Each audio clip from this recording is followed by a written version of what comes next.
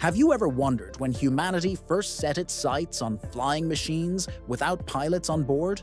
Picture the thrill as engineers launched the very first drones into the sky, imagining the possibilities for exploration, surveillance, and even delivery. What if I told you these early drones laid the groundwork for the sophisticated UAVs, unmanned aerial vehicles we see today? Strap in as we take flight on a journey through the history of the first five drones that transformed the skies. Ready to soar into the past? Let's dive in. 1916, the aerial target. Our journey starts in 1916 with the British aerial target. This was the world's first attempt at creating a remote-controlled aircraft, developed during World War I. Designed to serve as a practice target for anti-aircraft gunners, the aerial target was powered by a piston engine and controlled by radio waves.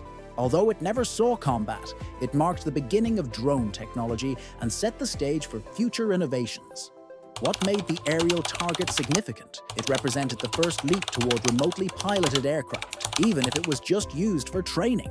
1935 the DH-82B Queen Bee. Next, we travel to 1935 with the introduction of the Queen Bee, another British drone. Built from a modified de Havilland Tiger Moth, this drone was the first mass-produced UAV and could be remotely piloted via radio control. Its primary purpose was also for gunnery practice, but the Queen Bee's success cemented the concept of pilotless aircraft in military operations.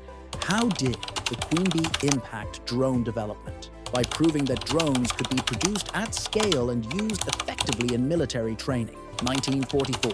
Operation Aphrodite fast forward to 1944, and we find ourselves amidst World War II.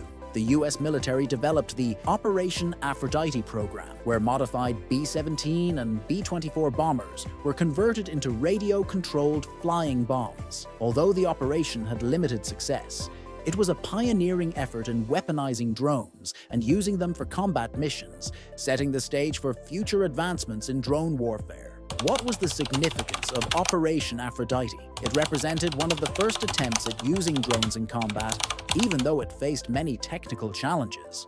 1959, Ryan Firebee.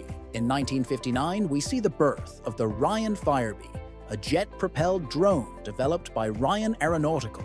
The Firebee was designed for reconnaissance and target practice, and its advanced technology allowed it to fly faster and farther than its predecessors. With its sleek design and impressive range, the Firebee became the backbone of US drone operations during the Cold War. What made the Ryan Firebee stand out? Its jet propulsion and versatility made it one of the most successful early drones used for both reconnaissance and training. 1994, Predator MQ-1. Finally, we arrive in 1994 with the debut of the Predator MQ-1, one of the most iconic drones in history. Developed by General Atomics, the Predator was initially designed for surveillance, but later equipped with weapons, transforming it into a combat drone. Its long range and endurance capabilities made it a critical asset in modern military operations, especially in the War on Terror. How did the Predator MQ-1 change the drone landscape? It shifted the perception of drones from reconnaissance tools to combat machines,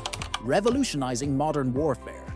And there you have it, the first five drones that didn't just fly, but changed the way we think about aerial technology. From the early days of the aerial target to the game-changing Predator MQ-1, these drones have paved the way for the cutting-edge UAVs of today. Imagine how those early engineers would marvel at the sight of drones delivering packages, surveying landscapes, or even performing rescue missions today. If this journey through drone history has sparked your imagination, make sure to hit that like button, subscribe for more amazing stories, and ring the notification bell so you never miss an update from us.